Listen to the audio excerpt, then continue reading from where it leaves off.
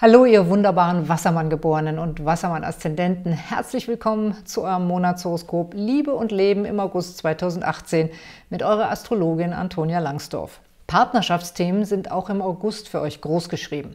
Der Neumond fällt in euer Partnerhaus und bringt neue Begegnungen. Der Vollmond beleuchtet bei den Festliierten die Beziehung. Falls ihr noch nicht in Urlaub wart, sind auch die Reisesterne sehr schön, vorausgesetzt ihr überzieht euer Urlaubsbudget nicht. Die Konstellationen sind für euch ziemlich aufregend. Falls ihr also eine Beratung für euch persönlich braucht, bin ich gerne für euch da. Ihr erreicht mich über mein Kundentelefon oder meine Homepage und beides verlinke ich unten in der Videobeschreibung und auf der Infokarte hier. Im August gibt es ein sehr wichtiges kosmisches Ereignis für euch. Die Lilith geht nämlich in den Wassermann. Dazu habe ich ein ausführliches neues Video-Special produziert und ich verlose in diesem Monat eine spezielle Lilith-Beratung. Das ist für euch sehr wichtig und sehr spannend und wie ihr an der Verlosung teilnehmt, erfahrt ihr am Ende des Videos, also bleibt dran! Jetzt schauen wir uns die Tendenzen für den August an. Die Deutung der langfristigen Planeten und welche Geburtstagskinder besonders wichtige Aspekte empfangen, diese Informationen findet ihr in meinem ausführlichen Jahreshoroskop und es gibt es als Video und auch als Buch zum Nachlesen. Und weil das halbe Jahr jetzt um ist, könnt ihr das Buch jetzt auch zum halben Preis nochmal erwerben. Den Link find, äh, dazu findet ihr unten in der Videobeschreibung.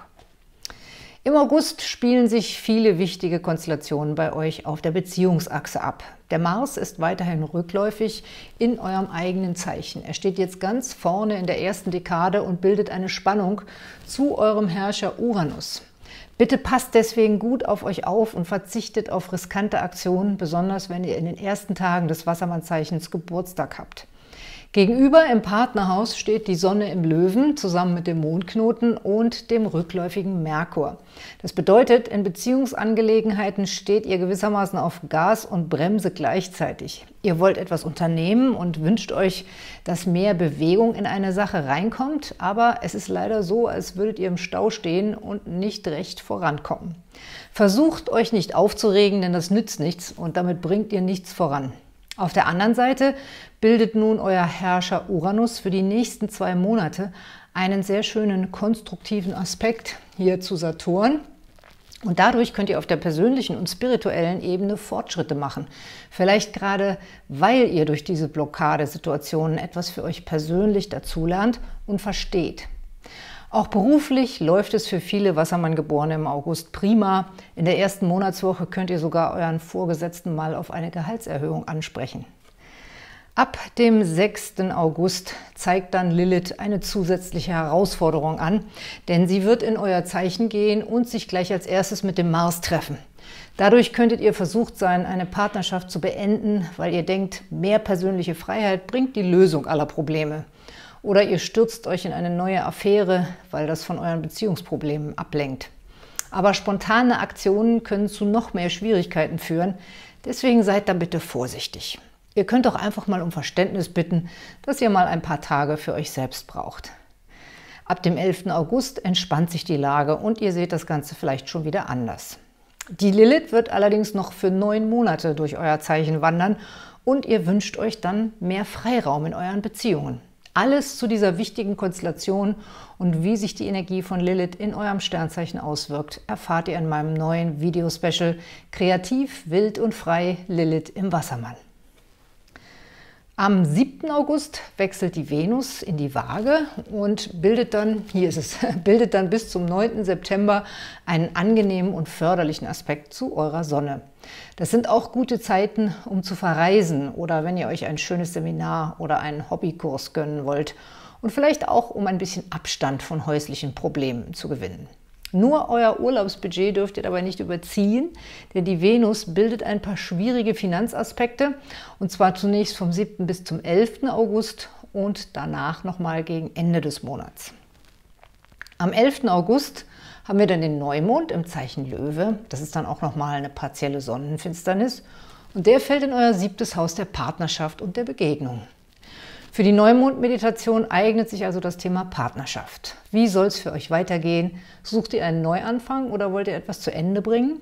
Und wenn ihr noch solo seid, was wünscht ihr euch von einer neuen Partnerschaft und welcher Art Leute möchtet ihr am liebsten begegnen? Weil der rückläufige Merkur auch dabei steht, behaltet eure Wünsche erstmal für euch. Am 13. August geht der Mars zurück ins Zeichen Steinbock. Das bedeutet ein gewisses Aufatmen für die Geborenen der ersten Dekade, die wahrscheinlich deutlich spüren, wie die Spannung nachlässt. Am 19. wird dann der Merkur wieder direktläufig und dann könnt ihr eure Wünsche und Vorstellungen bezüglich eurer Partnerschaft ansprechen und ihr fühlt euch wieder mehr verstanden.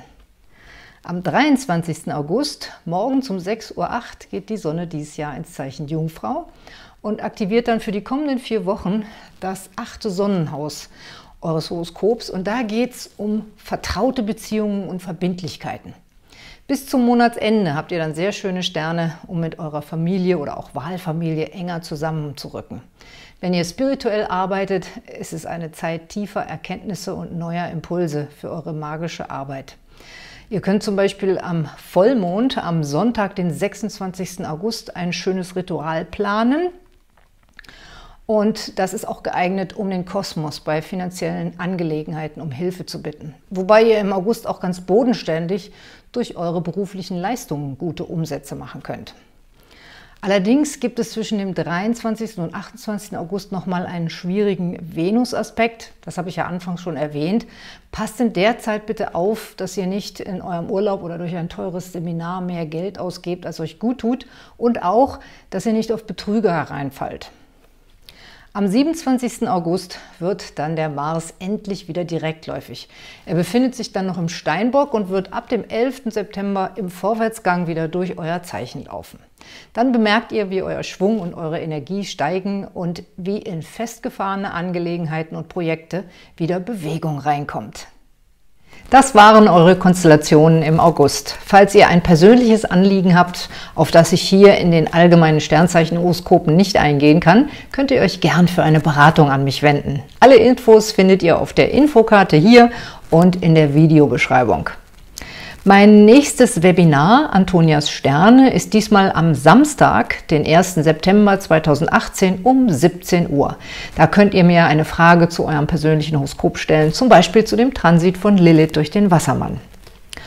Und jetzt komme ich zur Verlosung und weil die Lilith in den Wassermann geht, gibt es eine Lilith-Beratung zu gewinnen. Da können wir uns in Ruhe anschauen, wie sich der Transit von Lilith durch den Wassermann in eurem persönlichen Horoskop zeigen wird. Und so nehmt ihr an der Verlosung teil, postet mir hier einen netten Kommentar und abonniert meinen Kanal. Und ich freue mich auch riesig, wenn ihr meine Videos teilt, sodass sich auch eure Freunde über die Botschaft der Sterne informieren können. Zum Abonnieren einfach hier klicken, dann seid ihr bei der Verlosung dabei. Zum Schluss möchte ich euch noch meine Specials empfehlen. Natürlich das Neue über Lilith im Wassermann, aber auch über Uranus im Stier, Chiron im Widder und Saturn im Steinbock. Ich wünsche euch alles Gute mit den Sternen.